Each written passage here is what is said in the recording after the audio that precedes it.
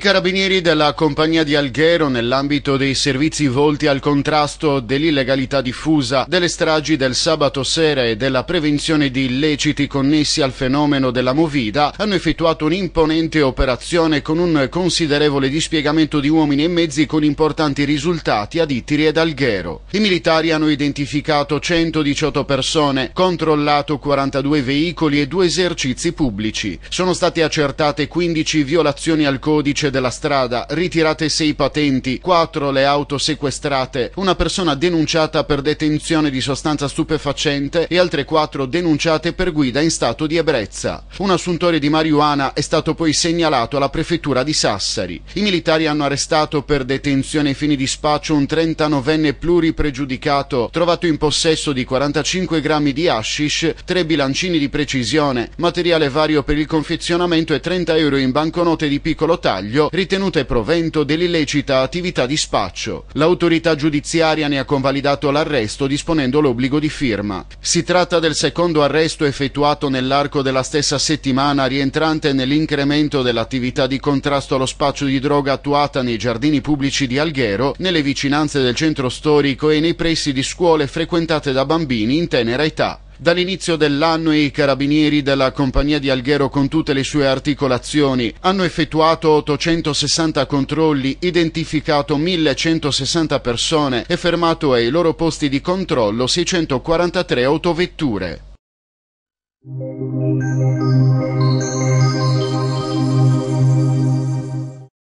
Continuano gli incontri dell'amministrazione con la cittadinanza per presentare il progetto di riqualificazione delle periferie urbane di Sassari che punta al rinnovo dei quartieri di Baddivanna, Sassari 2, Latte Dolce e Santa Maria di Pisa e alla ricucitura di queste aree con il resto della città. Dopo la fase di informazione ha preso il via lo scorso 15 gennaio il percorso di partecipazione pubblica con un primo appuntamento nel quartiere di Santa Maria di Pisa. Ieri pomeriggio presso i locali della chiesa di Gesù Buon Pastore a Badimanna ha avuto luogo il secondo laboratorio di quartiere che ha visto coinvolti i cittadini e le cittadine dei quartieri di Badimanna e Sassari 2 in tavoli di discussione e con i quali sono stati condivisi i dettagli dei progetti. I tavoli sono stati quattro e hanno affrontato le seguenti tematiche.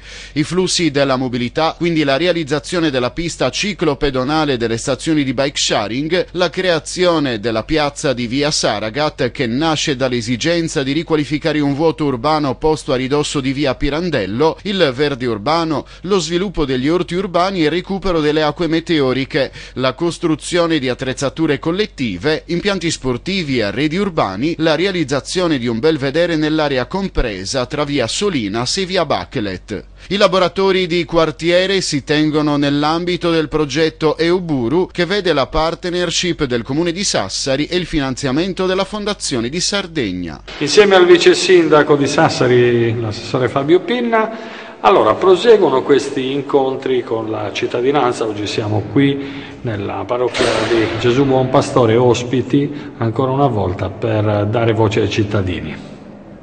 Sì, abbiamo fatto eh, questo ennesimo incontro molto positivo, eh, abbiamo trovato una sala oggi molto, molto attiva eh, perché abbiamo visto diversi tavoli dove, dove molti cittadini stanno partecipando e, stanno, e, ci saranno tantissime idee, suggerimenti, ci sono anche critiche naturalmente, tutte eh, ovviamente costruttive. E devo dire che è un bellissimo momento di confronto e di ascolto. Sì, in ogni caso la vostra amministrazione si sta dimostrando molto propensa all'ascolto dei cittadini. Questo è un buon viatico per quelle che saranno le elezioni del prossimo anno. Beh, innanzitutto pensiamo a quella che è l'efficacia dei progetti e il rapporto con i cittadini, insomma, e soprattutto i progetti che hanno così grande impatto per la città è, fonda è fondamentale, questo a prescindere da qualsiasi altra eh, vicenda futura. Insomma. Questa è la prima, la prima cosa che teniamo. Cosa sta venendo fuori fondamentalmente da questi incontri? No, sta, sta, venendo fuori che, che, nei quartieri, soprattutto in questo caso parliamo di periferie, eh, nelle periferie c'è, stata eh, sicuramente grande attesa eh, per eh, avere un rapporto diretto con l'amministrazione, quindi non più un rapporto su, eh, sotto il palazzo o dentro il palazzo, ma il contrario, è il palazzo, quindi comunque le istituzioni che vanno a incontrare i cittadini questo è stato comunque molto apprezzato da, dai più. Questa è la prima nota positiva che, che, che tengo a, a sottolineare. Obiettivamente, ve la aspettavate una risposta così forte da parte dei cittadini sotto il profilo della partecipazione soprattutto? Mm, sì, eh, perché soprattutto in quartieri eh, complessi come Latte Dolce, Sassari 2, Badimanna, eh, conosciamo già, conosciamo già, già, molto bene, sappiamo che c'è una popolazione molto attiva, quindi eh, ce l'aspettavamo, ma devo dire che, che ci hanno eh, anche sorpreso ulteriormente, perché è veramente stata forte come partecipazione.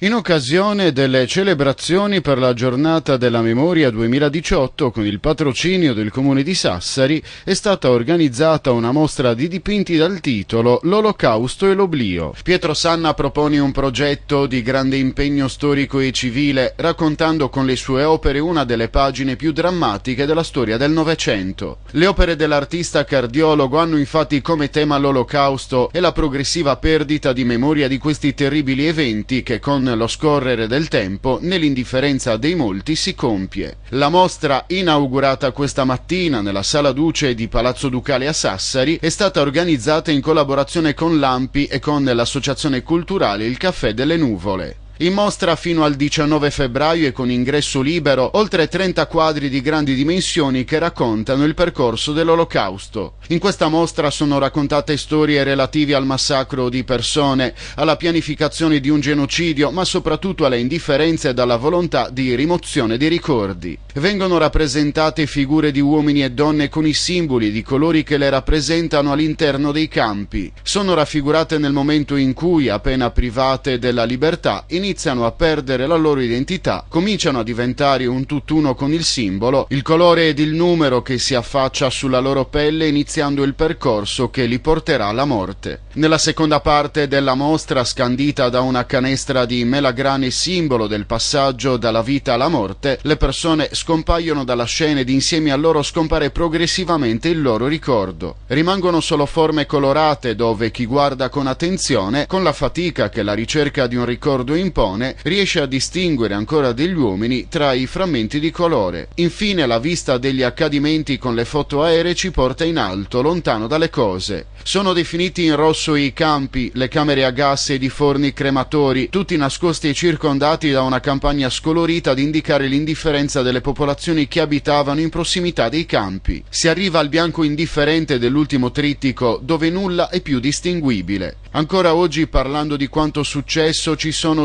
silenzio ed oblio, il tentativo di riscrivere i fatti, di coprire i terribili accadimenti di quegli anni con un manto bianco che dissolva il ricordo di tutto.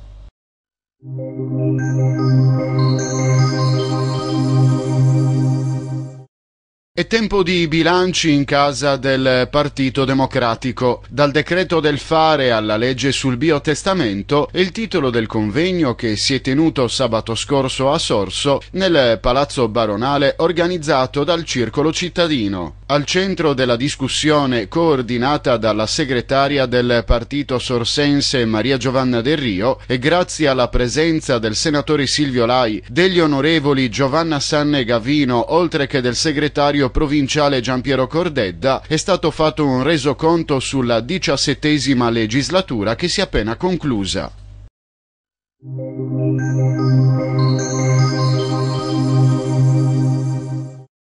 Anche quest'anno si è svolto l'ormai consueto appuntamento della gara di matematica organizzata dall'Istituto Tecnico Industriale Angioi di Sassari. La gara, rivolta alle scuole medie del territorio, ha previsto squadre composte da sette studenti della stessa scuola che si sono sfidati in una vincente gara a punteggio di risoluzione dei problemi matematici. Sentiamo ora ai nostri microfoni la professoressa Cazzola a proposito dell'iniziativa.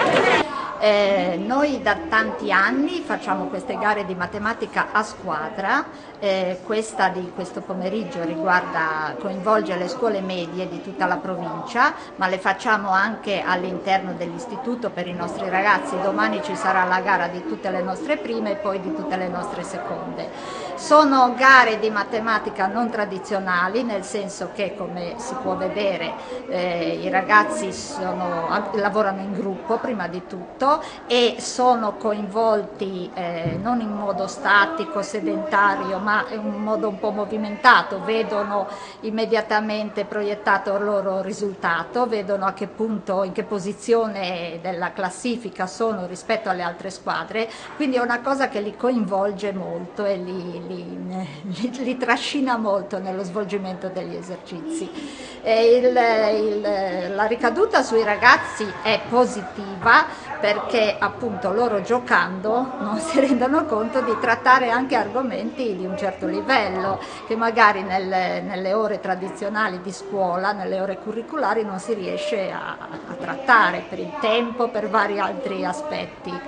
Eh, quindi noi cerchiamo in questa scuola di dare un aspetto anche un po' giocoso a quella che è la matematica. Eh, stamattina ad esempio abbiamo anche intrattenuto alcune classi delle scuole medie con un gioco dell'oca, matematica inglese in cui facevamo, eh, abbiamo costruito una pista e i ragazzi stessi erano le pedine, lanciavano il dado e rispondevano ad una di matematica e ad una di inglese. Quindi ecco, stiamo cercando di coinvolgere, di innalzare il livello della matematica tanto bistrattata ad un, ad un livello un pochino più alto. Ecco.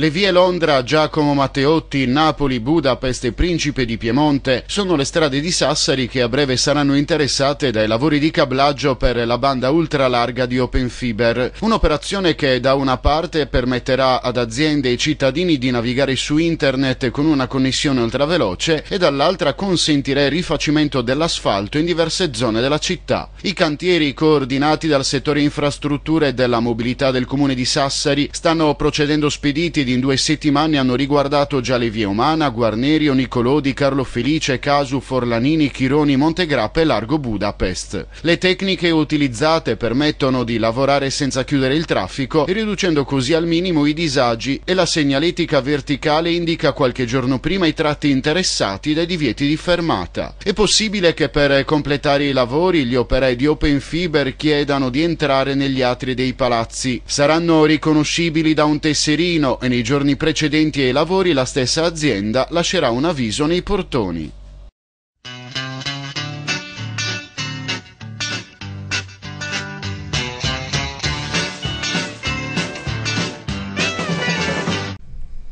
Gentili amici, salve a tutti, ben ritrovati anche oggi con un nuovo appuntamento di Telegin Radio all'interno del nostro notiziario. Siamo in compagnia di Franco Cassano, presidente provinciale dell'ECSFP Sardegna e con lui quest'oggi illustreremo questa grande novità per quanto riguarda l'ECS, un evento che si svolgerà i giorni 16, 17 e 18 febbraio 2018 eh, nei locali appunto dell'ECS di Sassari in via via Cedrino. Eh, il tutto sarà l'Accademia di Musica e Spettacolo. Ecco, Franco, illustraci questo evento. L'evento è un workshop di preparazione eh, per il prossimo autunno che eh, appunto vedrà l'istituzione dell'Accademia di Musica e Spettacolo. Eh, per dare a battesimo questo appuntamento eh, abbiamo voluto che partecipassero appunto i nostri eh, docenti che così verranno eh, a trovarci e naturalmente ad insegnare alle persone che si iscriveranno all'Accademia. Ecco, insomma, oltre ai tradizionali corsi di formazione, l'ECS Sassari è una novità questa comunque per l'ECS? Sì, è una novità perché o perlomeno si riprende in mano quell'argomento, quel settore che riguarda eh, lo spettacolo in generale, ma mm, non solo musica, ma anche la danza, il ballo e anche la parte eh, della recitazione che è molto importante. Ecco, un avvenimento quindi molto importante, eh, aperto a chiunque. È aperto a tutti, ci saranno due sezioni in particolare che, saranno, uh, che riguarderanno i junior, quindi i bambini e le bambine dai 5 anni ai 13 anni e poi invece ci sarà la parte del senior eh, per tutti gli altri. Ci saranno alcuni esponenti che prenderanno parte a questo evento? Sì, sono dei, di calibro nazionale. Sì, esatto. Per citarne eh, qualcuno c'è eh, Charlie Rapino che è uno dei giudici di Amici, eh, Fabrizio Berlincioni che è un autore eh, di trasmissioni televisive, in particolare quelle di Gerry Scotti, ma si è occupato anche di bambini. Berlincioni tra l'altro è anche un autore musicale, nel senso che delle canzoni che hanno vinto anche il Festival di Sanremo. C'è Massimo Cotto che è un giornalista, uno dei eh, profondi conoscitori della musica rock, ma abbiamo anche mh, altri personaggi da, della radio, abbiamo parlato eh, di radio e abbiamo il direttore di Telenorva. Ecco, Carlo Gallo. Carlo. Gallo, esatto. Esponenti veramente molto importanti del panorama radiofonico e televisivo nazionale. Sì, e poi abbiamo anche una cantante che è Michaela Fotti che ha vinto, fe- eh, che ha vinto Sanremo Giovani 2011. Sì. 2011. Sì, allora per eh, partecipare cosa, cosa bisogna fare? Per partecipare bisogna o mm, proprio recarsi eh, in via Cedrino oppure siccome abbiamo adesioni anche dal Cagliaritano e dalla Sulcis Ingrediente bisogna scrivere un'email eh, nel nostro sito appunto www.xfpitalia.it potete trovare tutte le informazioni. Perfetto, quindi non perdete assolutamente l'appuntamento con Accademia Musica e Spettacolo il 16, 17 e 18 febbraio 2018 presso i locali dell'ACS a Sassari in via Cedrino numero 3. Ringraziamo il presidente provinciale Franco Cassano. E ovviamente in chiusura vi ricordo che tutti i nostri contatti li troverete all'interno del nostro sito internet www.teleg.tv all'interno del quale trovate anche l'archivio dei nostri notiziari e anche le nostre produzioni produzioni. Vi lascio ora la nostra pagina sportiva, a tutti voi il più cordiale buon proseguimento di giornata e alla prossima. Arrivederci. Arrivederci.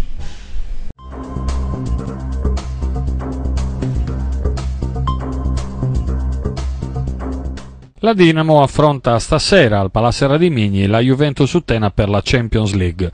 Una gara che i bianco-blu devono assolutamente vincere per coltivare quella flebile speranza di qualificazione al turno successivo, legato però ai risultati della concorrente diretta, Carsiacca, la quale, vincendo, metterebbe la parola fine alle speranze di De Vecchi e compagni. Inutile dire che il morale non è dei migliori, anche se Pasquini sta lavorando soprattutto su questo, vista le ultime prestazioni.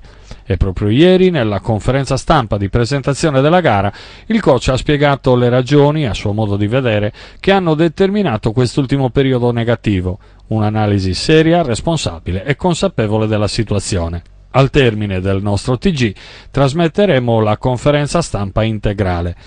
Oggi, dunque, la Dinamo è chiamata soprattutto a dimostrare che la crisi si può mettere alle spalle. Vincere oggi servirebbe a ridare fiducia e morale a tutto l'ambiente, anche se la società ha anche un'altra patata bollente per le mani, cioè la sostituzione di Randolph, per la quale Sardara, Pasquini e compagni si stanno muovendo sul mercato. Attendiamo sviluppi.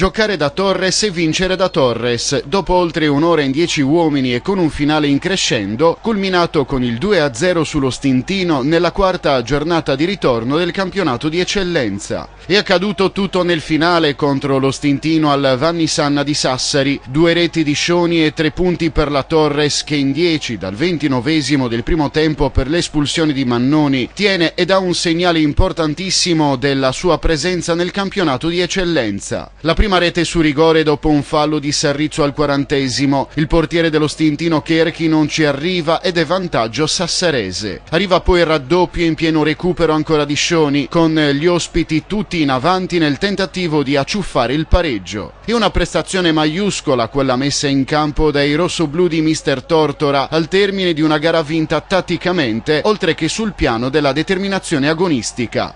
Prossima sfida domenica prossima sul campo del Sorso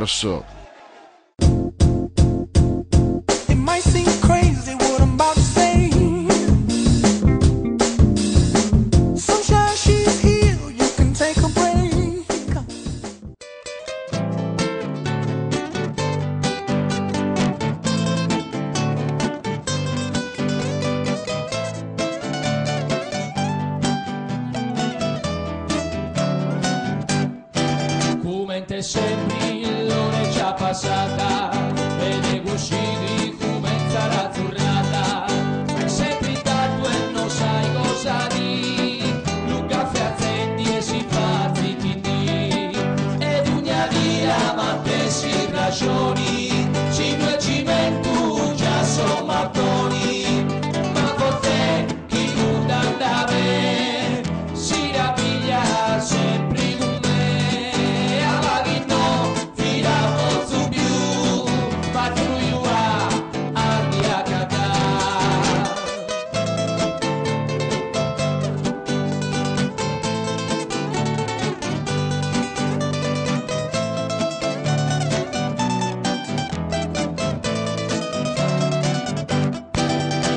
cuidado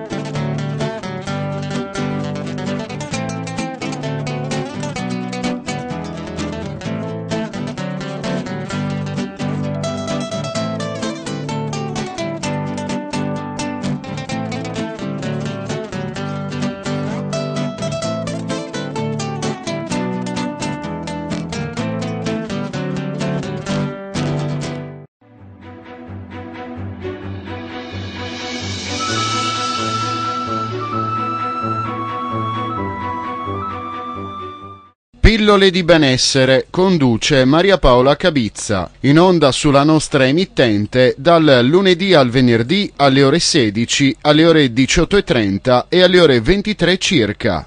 TG Informazione e approfondimento, orari di messa in onda, dalle 13 alle 15.30, dalle 18.30 alle 20.45, dalle 22 alle 23.30. Thank you.